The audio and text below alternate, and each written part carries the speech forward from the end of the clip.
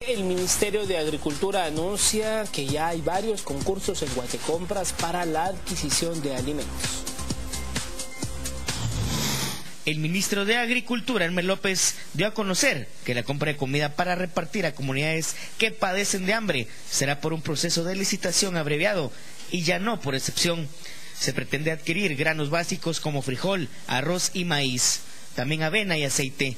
En total se invertirán 67 millones para la compra y se gastará un millón más para transporte. 13 empresas fueron las que eh, eh, eh, enviaron su oferta.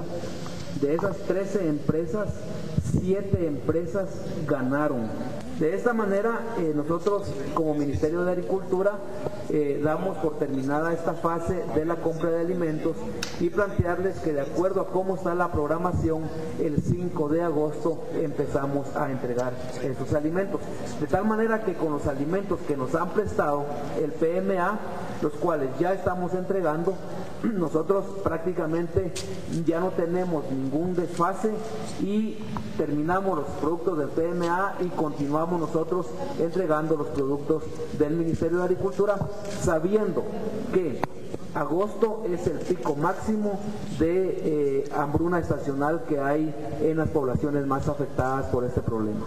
Según el ministro Elmer López, los precios que pagará el gobierno son el quintal de maíz a 307 quetzales, el de frijol a 443, el de arroz 315, el de avena 591 y aceite a 15.50 quetzales la botella.